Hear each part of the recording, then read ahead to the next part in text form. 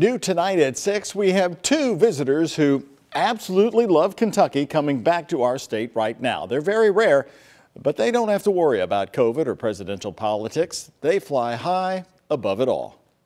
Athena, the Golden Eagle, returned to Bernheim Forest on November 8th, flying 1,500 miles from Canada a trip she and her partner Harper have been doing for several years. And Andrew Berry with Bernheim Forest says it's a big compliment. Seeing Bernheim as a safe place, I think it means a lot for what we do to manage the land. Check it out. Athena and Harper leave Canada in late summer and start flying this amazing route. And as they zero in back home, they check out the knobs of Indiana, the Ohio River, and West Point, Kentucky. Have any visitors to Bernheim ever seen these eagles in person?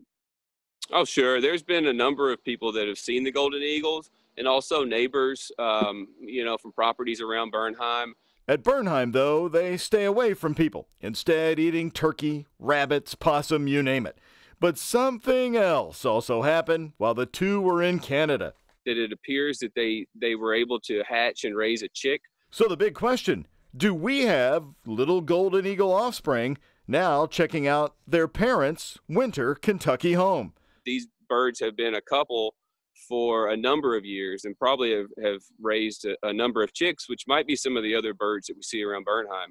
But it's just so hard to tell. You know, these golden eagles look so um, close to each other, and then when they molt, they they change a little bit and and have different appearances through the year. Who would have guessed it? A rare eagle resort just 20 minutes south of the Gene Snyder Freeway.